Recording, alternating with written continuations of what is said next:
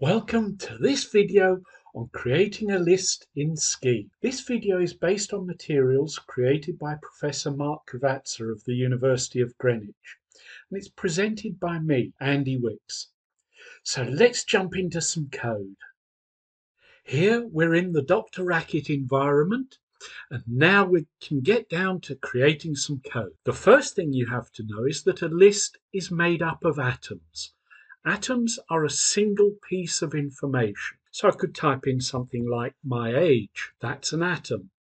Or I could type in the golden ratio, that's a real number. And I can type in 1618 and that is an atom too.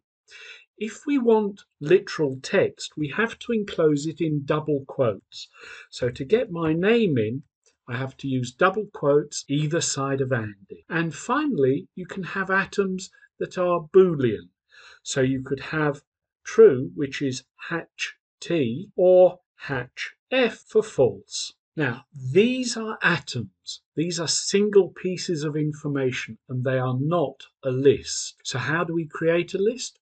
Well, first of all, I'm going to get rid of what's on the screen here. And I'm going to do that by ensuring that the top window, the definitions window is empty. And then I hit Control and R. Control and R clears the bottom window because we've run nothing. So now let's create a list. And unsurprisingly, a list is created with the list command. So we can have a list that says list atom A, atom B, and atom C. We need the single quote if there's text involved to say this is a literal atom rather than a variable as we think of it in other programming languages. But there are no variables in functional programming, of course. So if I hit enter now, I get my list, ABC. That's fairly easy, but functional programmers like to keep to a minimalist approach. Unlike languages such as Python, you tend not to use explicit long names for things. You keep it all as short as possible. So if I want to create a list, I can shorten that command above by having a single quote and then inputting the items that I want to have in that list. And that produces exactly the same list as I had before. Now, Control and R again to clear that screen.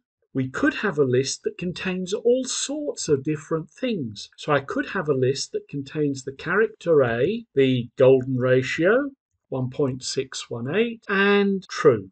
And that will produce a list of completely different types of information. There are no such things as variables in functional programming, but you can define constants. So we can have something like define x and then we say what we want x to be. So in this case we want x to be a list of say letters.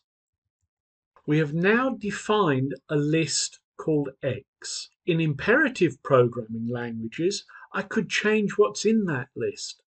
But in functional programming once that list is created it's fixed. It's constant. You can do things with the atoms that are in the list, but you can't make changes to the list. So I can define X to be that. And you'll notice that nothing happened. It's merely a definition. So if I want to see what's in X, I just type in X and up comes the list ABC.